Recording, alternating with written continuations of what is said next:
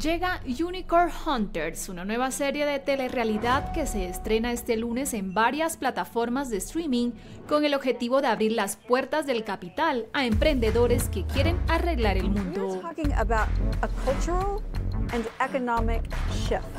Así lo explica F, una de las anfitrionas del programa, Silvina Moschini, única emprendedora latinoamericana fundadora de un unicornio, startup de mil millones de dólares antes de salir a bolsa. Nadie se va a volver rico por invertir en, compañías cuando ya llegan a, la bolsa, pero cuando las agarras tempranito y alguien te ayuda a decir, mira, a priori, tiene las condiciones, no tenés certeza, pero, pero eso es, es mágico. ¿eh?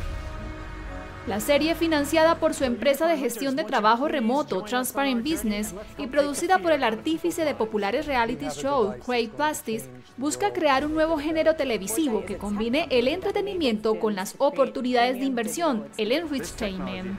Vemos que con esto podemos hackear el sistema de financiamiento y darle a gente normal como vos, como yo, que por ahí dicen, mira, tengo unos miles de, dólares o 100 dólares para, para empezar y quiero invertirlo en el próximo Facebook antes de que sea Facebook.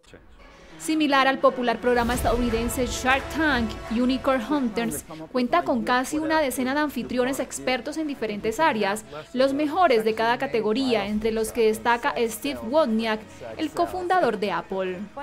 Es que gente súper importante que nunca hace eso, Wozniak nunca está en televisión, es una persona súper privado y él se define como un non-investor. Dijo, yo voy a invertir en esto porque quiero ver al próximo Apple desde la base de la creación.